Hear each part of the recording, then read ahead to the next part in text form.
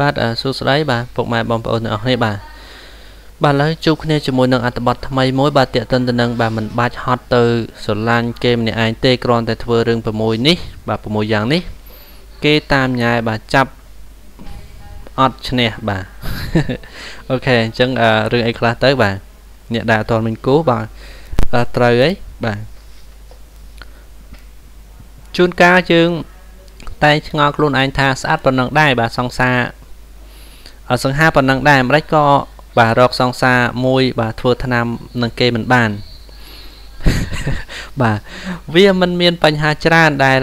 ជួនកាលយើងអាច បាទមិនគិតដល់ថាវាមិនមែនជាមូលហេតុដែលនៅម្នាក់ឯងតទៅនេះ បាទគឺឆ្លោះបញ្ចាំងពីចំណុចសំខាន់សំខាន់បាទមួយចំនួនក្នុងចំណោមបាទហេតុផលជាច្រើនដែលធ្វើឲ្យយើង បាទមិនងាយនឹងមានសង្សារបាទ បាទទី1បាទក្រវ៉ាត់ក្រវ៉ាត់ចោលបាទភ្លាមភ្លាមបាទទឹកមុខបាទក្រញ៉ៅក្រញ៉ៅបាទមិនចេះញញឹមបាទអ្នកមុខកញ៉ៅបាទគួរតែបោះចោលបាទបាទភាពរុះរាយរាក់ទាក់បាទស្នាមញញឹមរបស់មនុស្សបាទមិនថាបរោះឬក៏នារីឡើយបាទគឺជាភាពបាទតាក់ទាញបំផុតមុខមិនទទួលភ្ញៀវមុខមិនអំណោយផល ពេលខ្លះមិនមែនសំដៅលើការមានបាទ មុខមាត់បាទមិនស្អាតនោះទេ តែវាសំដៅទៅលើបាទមនុស្សដែលមិនចេះញញឹមនេះហើយ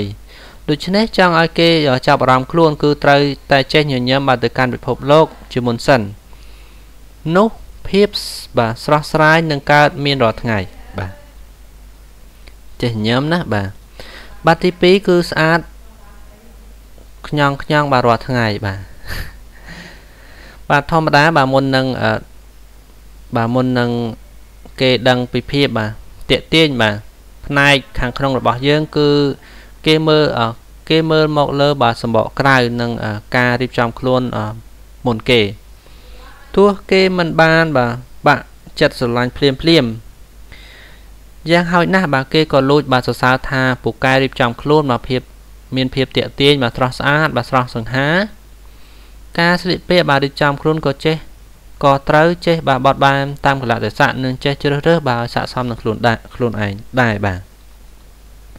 បាទទី3បាទកុំប្រកាន់រឹកពៀបាទខ្លាំងពេកបាទរៀនឲ្យចូលចំណោម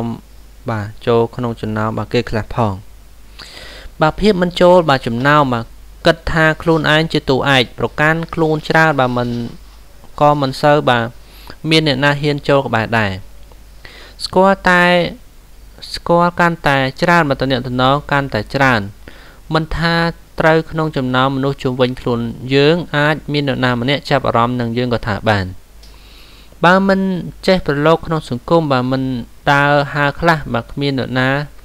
សក់សក់រត់មករកយើងនោះទេបាទដោយពាក្យគេនិយាយថាឱកាសមិនមែនសុទ្ធតែធ្លាក់ពីលើមេឃទេទាល់តែយើងមកចេះស្វែងរករបស់ខ្លួនឯងមិនខុសពីរឿងស្នេហា បើចង់មានសង្សារគុំសំងំនៅតែក្នុងផ្ទះពេកបាទអូខេបាទត្រូវខ្លះទេយើងបាទចំណុចទី4បាទមិនបាច់ត្រឹមត្រូវដូចសម្ពុតក្នុងភ្នត់បាទពេកទេ ត្រង់ចំណុចនេះមិនមែនបាទមានន័យថាឲ្យទៅបាទធ្វើចរិតបាទអឺលៀមបាទហិចហើនោះទេបាទលៀមណាបាទតែមានន័យថាបើចាប់អារម្មណ៍នរណាម្នាក់បាទរៀនត្រូវបាទឲ្យគៀក តិចទៅបាទរៀនចូលឲ្យគៀកតិចទៅ ហើយព្យាយាមបង្ហាញឬក៏កសាងបាទសាក់សាក់លបងបាទសារភាពទៅយ៉ាងហោចណាស់ក៏យើង បានដឹងថាគេបាទស្រឡាញ់ឬក៏មិនស្រឡាញ់ប្រសិនបាទប្រសើរជាងបាទនៅសង្ស័យបាទគេចាប់អារម្មណ៍អត់បាទគេស្រឡាញ់វិញអត់ទទួលស្គាល់ថាវាមិនបាទជារឿងបាទងាយស្រួលធ្វើទេ តែត្រូវសួរខ្លួនឯងថា បើយើងមិនប្រាប់គេបាទធ្វើមិនដេចគេដឹង ថាយើងចាប់អារម្មណ៍គេបើមិនហ៊ានទេបាទមួយជីវិតនឹងបាទអង្គុយតែស្រឡាញ់គេម្នាក់ឯងទៅបានហើយបាទបាទចំណុចទី5បាទគឺមានចរិតបាទលក្ខណៈពិសេសបាទផ្ទាល់ខ្លួនបាទមនុស្សម្នាក់ម្នាក់តែងតែមានលក្ខណៈពិសេសផ្ទាល់ខ្លួនដូចជាបាទសបាទសមត្ថភាពលើការងារបាទ រៀនពូកែបាទកំ pl ែងបាទកំមិចកំមបាទមនុស្សពូកែនិយាយឡាក់បាទមានសមត្ថភាពបាទបាទអីបាទបញ្ចេញមកបាទព្រោះនេះគេហៅថាភាពតាក់ទាញផ្ទាល់ខ្លួន ដែលមិនប្រកាសថាអ្នកផ្សេងបាទមាននោះនោះទេ ភាពតាក់ទាញបាទនេះដែលអាចធ្វើឲ្យបាទមានបាទមនុស្សជាច្រើនបាទចង់នៅក្បែរចង់រាប់អានហើយនៅក្នុងចំណោមទាំងនោះជួនកាលក៏មានបាទអនាគតបាទសង្សារយើង ក៏ចាប់អារម្មណ៍យើងដែរបាទចំណុចទី6គម្រោងចាំតែអ្នកល្អឥតចោះពេកបាទនិយាយការបាទលងស្រឡាញ់មនុស្សម្នាក់បាទលុះត្រាតែអ្នកនោះស្អាតសង្ហាពូកែមានតែធាតបាទពិតបាទជាក់ស្ដែងបាទមិនងាយនឹងជួបឡើយអាចមានមួយក្នុងចំណោម100ថាច្រើនពេកផង ពេលខ្លះបាទការស្រឡាញ់បាទមនុស្សម្នាក់មិនចាំបាច់បាទតលតែល្អឥតខ្ចោះទេ បាទល្មមល្មមស្រឡាញ់គេវិញទៅបាទបើមិនបើមានអ្នកមកសារភាពយ៉ាងណាក៏គ្រប់គ្រាន់បើជាងបាទលួចស្រឡាញ់មនុស្សដែលមានគ្រប់យ៉ាង តែស្រឡាញ់គេម្នាក់ឯងបាទតែក្នុងក្តីសម័យគូស្រឡាញ់អ្នកណាដែលគេមកស្រឡាញ់យើងបាទមកប៉ះផ្ទាល់ផ្ទាល់បាទឈាមពិតបាទ សាច់ពិតបាទល្អជាងដើរបាទរវើរវាយរងចាប់បាទទេពបុត្របាទទេពធីតាបាទជីសេសដែរអូខេមានតែប៉ុណ្្នឹងទេទាក់ទិនទៅនឹងអឺបាទបើចង់ឲ្យគេអឺ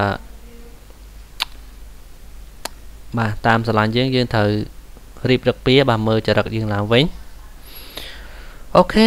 អរគុណច្រើនសម្រាប់ការទស្សនាហើយសង្ឃឹមថាអត្ថបទនេះបាទមានប្រយោជន៍ចំពោះបាទបងប្អូនទាំងអស់គ្នាជួបគ្នានៅវីដេអូក្រោយបាយបាយ